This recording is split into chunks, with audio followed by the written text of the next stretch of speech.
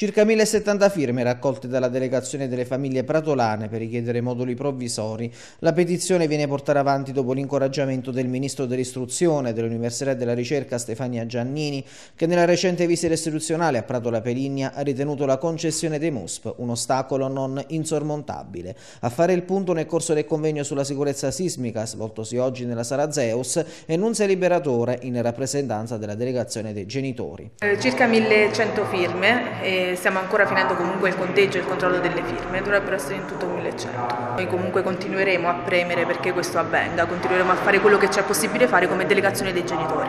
Studiare in piena sicurezza, conoscere il terremoto e prevenire le conseguenze. Questo è il motto del convegno che ha visto a confronto gli interventi dell'ingegnere Rino Liberatore e del geologo Antonio Palombizio. Mica il perché anzitutto di questo appuntamento? Abbiamo organizzato questo appuntamento insieme con la delegazione per mettere a conoscenza tutti i cittadini, tutta la cittadinanza di Pratola e in particolar modo i genitori appunto che eh, mandano i figli tutti i giorni a scuola su quelle che possono essere, su quello che è effettivamente il terreno dove noi abitiamo, dove noi abbiamo costruito le nostre abitazioni e anche gli edifici eh, pubblici così come le scuole e per capire effettivamente quali sono le prevenzioni che si possono fare e eventualmente come prevenire appunto il terremoto e quello che si può fare dopo come reagire a eventuali terremoti abbastanza importanti. Insomma.